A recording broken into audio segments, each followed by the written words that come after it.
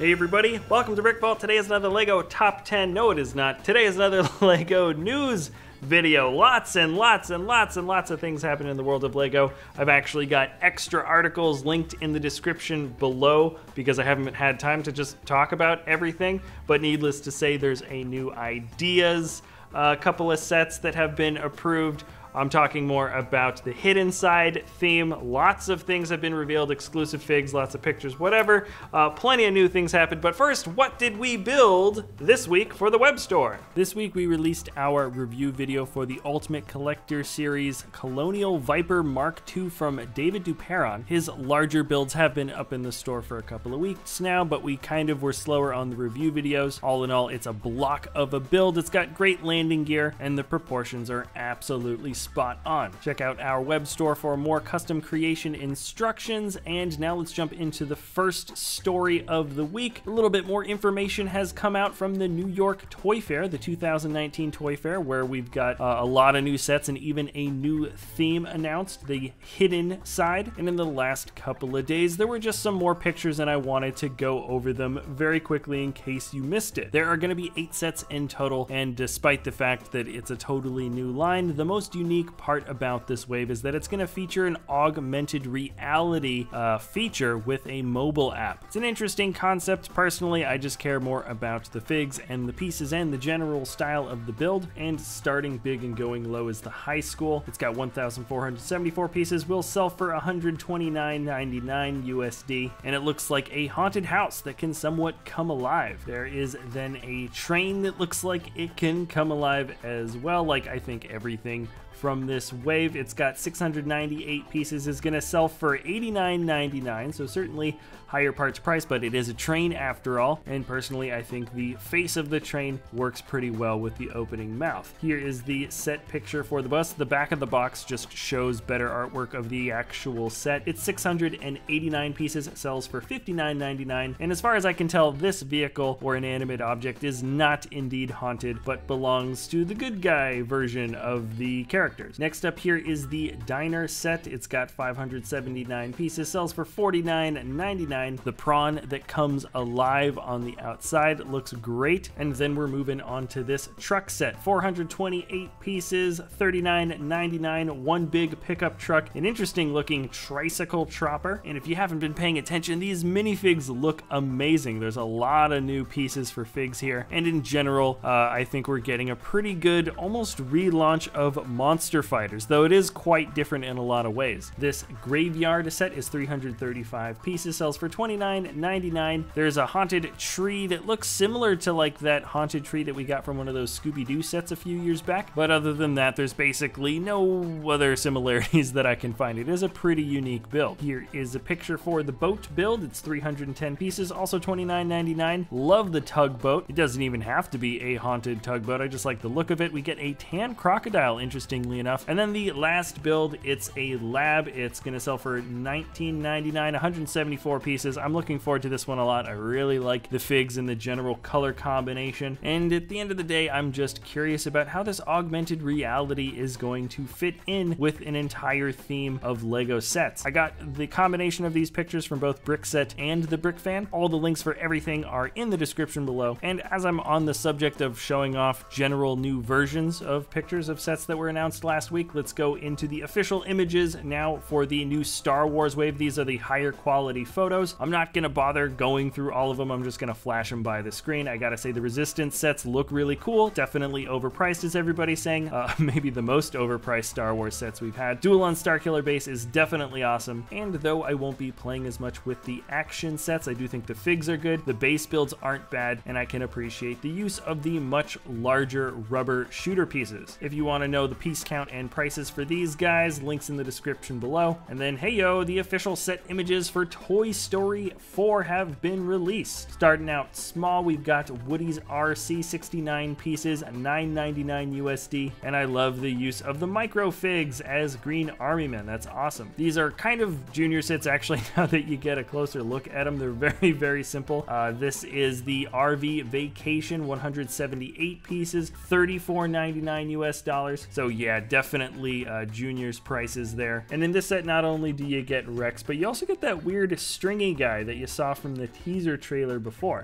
Buzz and Woody's Carnival Mania set. It has 230 pieces, is to sell for $49.99, and has an excellent looking build. It's not even really much of a build, there's just awesome printed pieces uh, for the arcade, sort of the, the cannon shooting arcade game, the Star Adventurer arcade game, and you get a weird looking minifig bird, I think, the blue character, I don't know what that is, and you also get Bo Peep, which is kind of awesome. Then here is the last one, it's kind of simple, it's the Carnival Thrill Coaster, 98 pieces, and it's going to sell for $19.99. Those coaster pieces, I'm sure, is what brings the price up in this particular set's case, and it's probably the one I'm looking forward to the least. We've got tons of coaster pieces here in the studio, and Buzz and the Alien have been released many times over. There's lots and lots of details I didn't go through for these sets. There's just so much to get through in this episode, but let me know what you think about the Toy Story 4 sets. Personally, I would have liked more complex builds because, you know, I'm an older builder and Junior's sets don't really draw me in too much, but the figs look fun, and I think uh, the Buzz and Woody's Carnival Mania set is probably the coolest uh, set out of these four that were shown off. All right, all right, moving down, we only get these announcements, I think, three times a year, and this week it happened. It is the uh, second 2018 review of the official results for LEGO Ideas. So two new sets have been accepted. The first one being Steamboat Willie, that's the little Mickey Mouse one, based on the original time Mickey Mouse showed up in any fashion. He was in a black and white cartoon called Steamboat Willie, and LEGO and Disney work pretty heavily together with IP, so I feel like this was probably a pretty easy one to get approved, and I think it could be a fun little ideas set. My guess is that the design is probably going to go through some pretty heavy changes. It feels a little bit simple here, but it certainly will be interesting to get a Mickey Mouse figure in total black and white. And then the second build that was approved for LEGO Ideas, that's right, two got approved this time around. It was the Friends set, the Central Perk Coffee House. I have a feeling it's going to be built at a similar style to the Big Bang Theory set that came out as well, though the initial design presented by the builder seems to be much larger than that of what we saw from Big Bang Theory. Personally, I hope to go with a larger set. I feel like we'll get a lot of interesting interior builds. New exclusive prints are always fun, and I also liked Friends more than Big Bang Theory, though I can't say I've really thought about the show very much uh, in, a, in a long, long time. I've linked the original announcement video if you want to watch it yourself. It's, uh, you know, slightly cringy like I think all of the Ideas announcement videos, but there you can also see the lineup of all the other potential sets that were in that wave that were also reviewed at the same time and officially, I think now, rejected. In more news, LEGO won four different Toy of the Year awards. LEGO Harry Potter bringing in three of the four. They won Collectible of the Year for the Fantastic Beasts collectible minifigure series. The Construction Toy of the Year was the LEGO Harry Potter Hogwarts Great Hall, and Specialty Toy of the Year was the LEGO Harry Potter Hogwarts Castle, which was an awesome, awesome build. Also, Playset of the Year was the LEGO Creator Roller Coaster, which was also amazing and still somewhat in pieces here in our studio. Uh, that one broke down a little bit from the last move. And then you guys remember Bricktober figs, you know, for October, as in last October for 2018? Well, I think this is the final uh, wave or the final set. There were four different sets, all with four unique collectible minifigures that were supposed to be for Toys R Us. Long story short, the Marvel Superheroes one is going to be coming out for a promotion in March. From March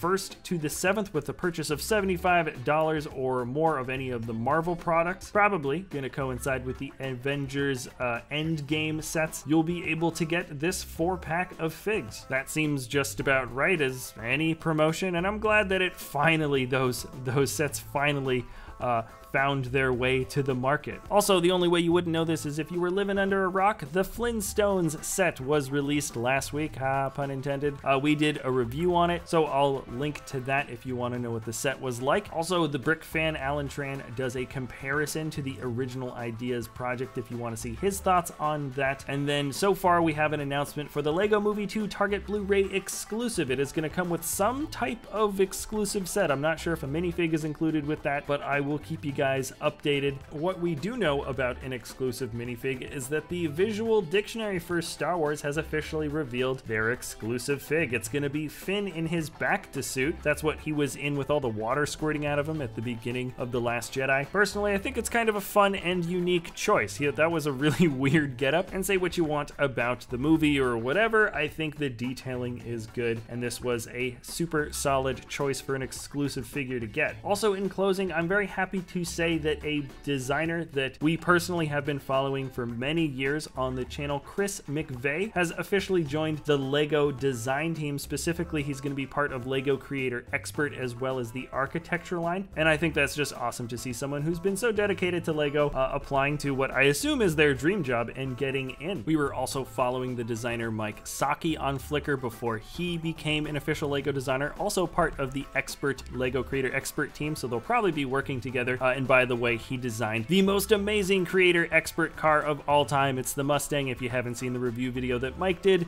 do it. It's such a good build, and now I'm back in front of the camera. All right, that is it for this weekly news update. Tomorrow is top 10 MOCs of the week with Mike. I'm doing fan MOC creations, which I'm hoping is going to be a regular episode for Mondays from now on. So that's going to be Monday. So many more emails and submissions from the week before after I announced uh, that that's going to be its own episode. And, anyways, that's it. If you enjoy our content, thanks a lot for hanging out. If you want to like or subscribe, do whatever you want to do, and we'll see you next time at Brick Vault.